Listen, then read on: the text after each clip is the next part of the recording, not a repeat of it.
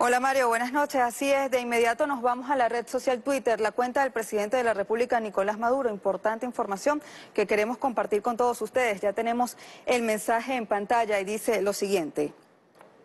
Estuve reunido con el presidente de PDVSA, el ingeniero Pedro Tellechea. Lo designé como nuevo ministro de Petróleo en el marco del proceso de transformación que vive la industria. Máxima eficiencia, compañero, exclama el presidente de la República, Nicolás Maduro, el nuevo ministro del Poder Popular para el Petróleo. Es la información que compartimos con ustedes a través de la red social Twitter y así volvemos contigo, Mario, y más de la hojilla.